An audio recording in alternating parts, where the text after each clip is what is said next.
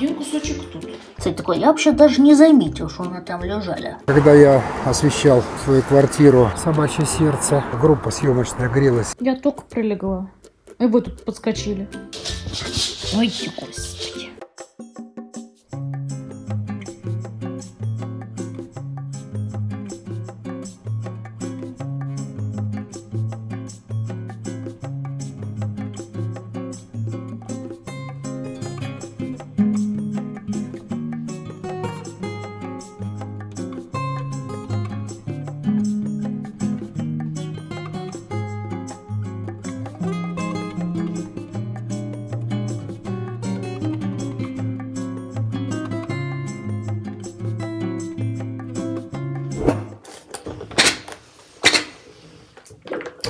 Короче, у меня тут накопилось, как обычно, целая корзина вещей, которые надо погладить. Ну, тут какие-то объемные. Я стирала тут даже пиджаки, рубашки, полотешки. И, в общем, пришел ко мне Сетька, наверное, контролировать весь процесс. Да, Сетя?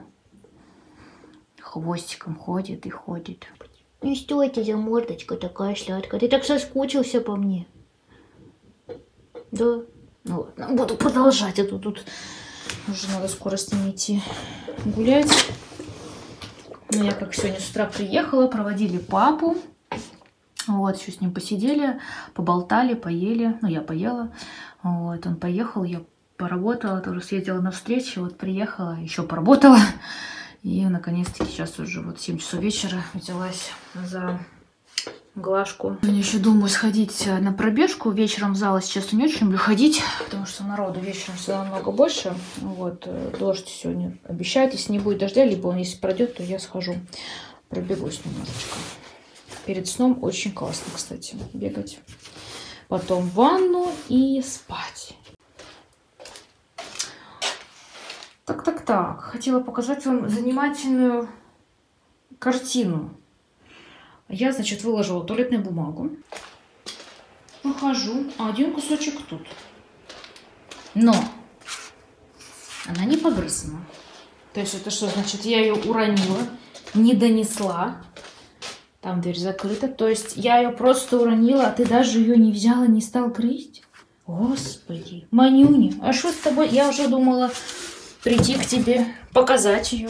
Оказывается, это я ее уронила и даже не заметила. У меня там 24 штуки лежит на балконе, я сюда таскаю периодически. Да ты меня такой умничка. А что с тобой стало, Седечка? А ты молодец. Он такой даже не понял, она за что его хвалит. Кстати, такой, я вообще даже не заметил, что она там лежали. Как бы. Не так, Сенечка, давай сделаем вид, что ты просто хороший, умный мальчик. Доброе утро, уважаемые подписчики. Мы сегодня продолжим рубрику немножко в Санкт-Петербурге. Это Спасо-Преображенский собор. Э, Архитектор Стасов. Последняя версия. Предыдущий собор сгорел, были только стены оставлены. Собор возведен был изначально по инициативе дочери Петра, Елизаветы Петровны. Э, В благодарность за то, что гвардейцы Преображенского полка, рота Преображенского полка поддержала ее, и она пришла к власти, 11 лет правила, возродила Петровские порядки, история с господином Разумовским, певчим, все прочее это можно прочитать. Я вам расскажу, как вы и просили, глазами самого себя. Собор выглядит прекрасно, внутреннее убранство его почти э, воссоздано. За некоторыми элементами мы войдем в собор, сейчас он закрыт, чтобы было меньше машин. Я постарался выйти пораньше. И вот только некоторые таксисты и мусорщики, проехавшие пытаются нам внести какое-то разнообразие в, шум, шум, шумы. Вот посмотрите, двуглавые золотые орлы, это импи, признак империи, это восстановлено все только в 2004 году. При советской власти они были убраны, имперские замашки были спрятаны. 34 основания, это вот пушки, по три пушки, всего их 102 по периметру находятся с цепями их никто не тронул, они бронзовые. Вот на пушках символики написано, они, они перевернуты жерлами вниз, э, что эти орудия никогда не будут стрелять. Сделана подсветочка, зимой она красиво так это сияет, горит. Собор э, достаточно строгий, дорог не только сердцу, но и посетителям. Ну что, э, давайте пройдемся по периметру.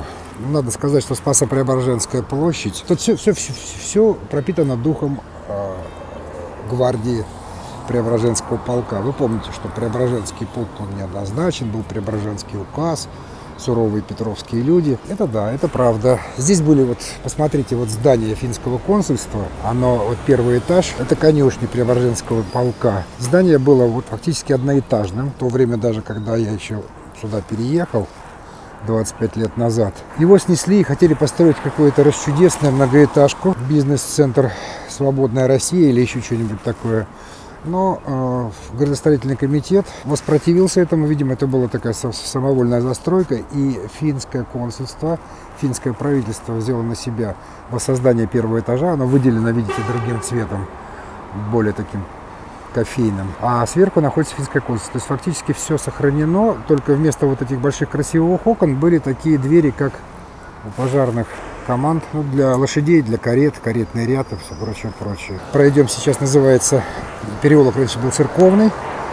А когда я освещал свою квартиру с этого собора, приходил батюшка и сказал, что вы живете в Поповской зоне. Это зона Поповская, зона очень ответственная. Почему? Потому что тут все происходит через призму страданий. У нас принято в нашей религиозной среде с радостью мало кто ходит в храмы, все ходят с какими-то трудностями, проблемами. Ну, в общем, такая энергетика достаточно собранная, сложная. И мы понимаем, что только а, крещение, наверное, и венчание – на какой-то момент они радостные события. Ну, остальное все отпевание, молебны и прочее, прочее. Серьезная вещь. И вот эта вот аура, э, колокола и прочее, прочее, они очень обязывают ко всему этому. Очень много священнослужителей с этого храма. Да, большинство фактически живет рядом. По крайней мере, той поры, в которой я это хорошо знал, несколько десятков лет назад, вот домик, на котором написано салон ателье вдали. Там несколько священников живет. Совсем недавно еще возглавлял этот собор брат нашего патриарха Кирилла. Но сейчас, видимо, как бы произошла смена, наверное, с возрастом. Но за храмом внимательно ухаживают, туристические автобусы группами приезжают, экскурсии ходят. Кстати, вот элементы брусчатки, булыжник орудия пролетариата здесь тоже сохранен и тоже с тех времен, когда мы с вами проходили по Пестель, я сказал, что маленький кусочек все утрачено. Нет, еще вот смотрите, здесь еще есть. И думаю, что есть еще несколько мест, но так как у нас обзор не научный, а популярный, основательный, и идет в разрезе моих только домыслов, взглядов и каких-то, может быть, исторических фактов. Смотрите, кстати, редкие кадры, почти как выходного или праздничного дня, такой, знаете, как будто после нейтронного какого-то взрыва, то есть все стоит, а ни людей, ни животных. Вот там четыре голубя в поле зрения. Ну, правда, приятно на самом деле, когда вот этой суеты нет, и ты никому не мешаешь при этом. Это тоже большой плюс. Обязательно в собор, я расскажу вам. Может быть, я заранее расскажу, а потом просто сниму. Там, в принципе, есть три важных, важных иконы. Это Спас нерукотворный, это икона Петра. Это действительно икона в окладе спасла Петра при Полтавской битве. Пуля попала в икону, в оклад и спасла жизнь Петру тогда при Полтавской битве. Шведы могли бы Петра I, ну, по крайней мере, поранить. Э, эта икона присутствовала и при смерти Петра Алексеевича, и при отпевании она там находится. Рядом еще икона Божьей Матери, подаренная Елизаветы во времена правления. Она все в самоцветах, в каменьях. Они находятся справа и слева от алтаря. Вот. Я покажу вам, засниму эту историю. Не история, а сюжет. А, и э, могу еще добавить, пока мы ходим, мы почти обошли по периметру Преображенскую площадь. Вот вдали с флагами находится, это мой дворец пионеров, дом пионеров, вернее. Вот сейчас здесь поселилась организация по Санкт-Петербургу и области Финмониторинг. Спорный дом, еще во времена Собчака долго его не могли раздербанить, кто куда там, что-то такое. И вот отдали его государственным службам. Откуда пошло понятие «пойти налево»? Все слышали, может быть, не все знают. Есть три версии этого варианта. Первое, что э, в правом пределе стояли мужчины, в левом женщины. Если мужчина немножко запутался э, с ориентацией право-лево, я имею в виду, никак ничего другого, то он пошел на женскую сторону и вот отсюда налево. Есть другие еще варианты, как во многих э, конфессиях, в мусульманстве, еще где-то есть женская, мужская половина. Ну, это опять отсюда же выходит, что в избе была мужская и женская половина и прочее, прочее. И левая половина всегда была женская. Ну, в принципе, масло масляное. Ну и третья версия религиозная. На правом плече сидит ангел, а на левом сидит бес. Не будем увязывать, что если пошел на женскую сторону, то встретился с бесом. Но поговорка «седина в бороду, в бес ребро» все объясняет. Кстати, за- заканчиваем мы нашу внешнюю съемочку с часовенки, которая была построена э, позже. Здесь же вот хотели вот на этом месте строить усыпальницу а, офицер, же павших офицеров Первую мировую войну. Ну, так как уже финансово было напряженно и революционная смута грела, брела. Вот еще заснимем сейчас кусочек дома Мурузи. Вообще вот эта улица Рылеева, бывшая Спасская, о ней написана целая книга. Здравствуйте. Вот дом Мурузи, это вообще произведение искусства. Только про этот дом написаны две книги. Второй этаж, окна Бродского, музей-квартира. Ну, тут надо просто видеть и заходить. Конечно, ленинские места. Здесь жил и Ленин.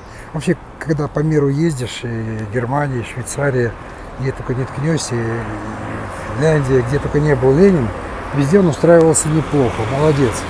С завистью, можно сказать. Дон Мурузи не иск- не исключение. Князь Мурузи был эксцентричный, у него и марокканский стиль там перемешан и прочее, прочее. Кстати, книги Дом Мурузи и улица Рылеева можете найти. В квартире, в которой мы с Вероникой нынче проживаем, в ней тоже жил знаменит, дети знаменитого на всю Россию и Москву господина и э, известного доктора придворного последней царской семьи. Они жили порядка 12 лет в нашей квартире. Собор снимался в фильме «Собачье сердце». Но фильм снимался как бы в Москве, но события, вот когда к нашему дому подходили и говорили, пришли на собачку посмотреть, э, говорящую, прочее, прочее, это вот как раз этот собор, а, съемочная студия, группа съемочная грелась, съемки были зимой, в нашей квартире, которая до, до того времени еще была не расселенная коммуналка. Вот как-то так. Мы находимся в Спасо-Преображенском соборе. Сейчас перед службой никого нет. Это очень красивый купол, абсолютно. Обзор нам любезно разрешили недолго снимать. Мы заканчиваем. Всего доброго. Здрасте. Я только прилегла. И вы тут подскочили.